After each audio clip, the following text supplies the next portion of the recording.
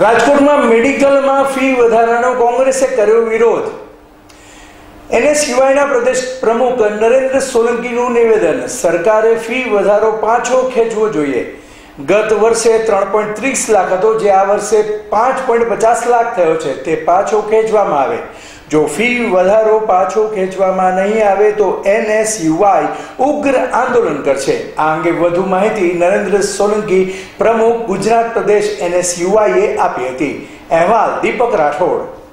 ખાસ કરીને ગુજરાતમાં ભારતીય જનતા પાર્ટીની સરકાર દ્વારા દિવસે ને દિવસે શિક્ષણ મોંઘું કરવાનું કારસ્તાન થઈ રહ્યું છે.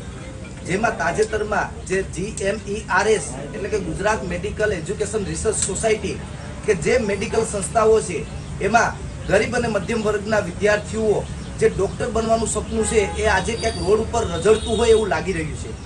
તાજેતરમાં જે એજ્યુકેશન જે સોસાયટી છે, એના દ્વારા જે ગત વર્ષે ત્રણ લાખ ત્રીસ હજાર રૂપિયા ફીમાં એક વર્ષ હતું, આજે એ સીધો સિત્તેરથી એંસી ટકાનો વધારો, એટલે કે પાંચ લાખ પચાસ હજાર રૂપિયા જેટલો કરી દીધો.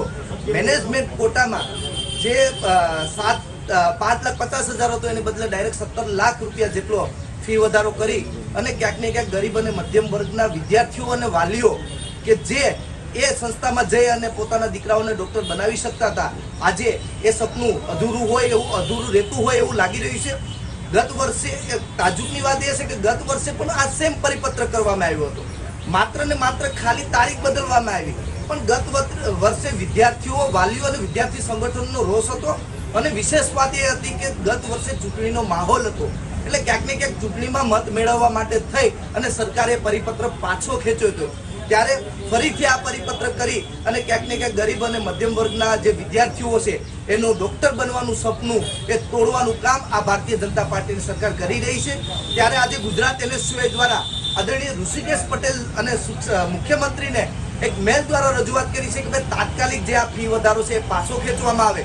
બાકી આવનારા દિવસોમાં ગુજરાત એનએસયુઆઈ ઉગ્રથી ઉગ્ર આંદોલન કરશે અને વિદ્યાર્થીઓ અને વાલીઓ માટે રોડ ઉપર ઉતરવું પડે, જે આંદોલન કરવું પડે, પણ ફી પાછી ખેંચાવીને ગુજરાત ગુજરાત એનએસયુઆઈ જમતું